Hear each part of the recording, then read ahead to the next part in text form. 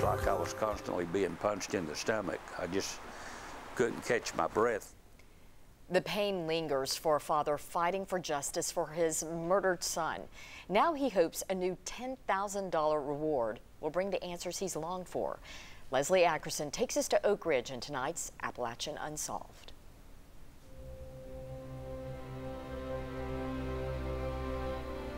But when my son got murdered, it just it was like my heart went through a meat slicer and sliced off a piece of my heart, literally.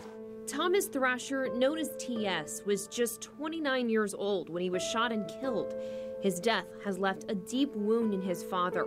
He always made everybody smile and happy. He was just so pleasant from the time he was a little boy. It was December 8th of 2014, just a few weeks before the holidays, when T.S. was murdered inside his Rolling Hills apartment in Oak Ridge.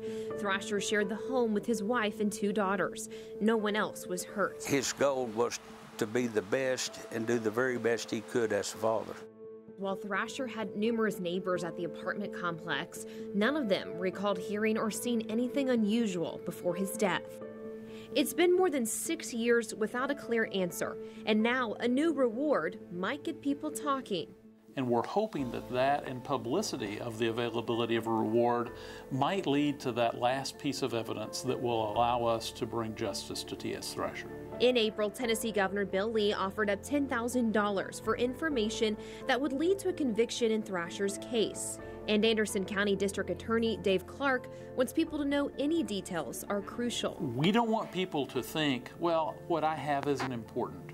What I have isn't big. Small pieces of information can be critically important because they, added to information we already have, can tie things together in ways that people wouldn't appreciate uh, or understand.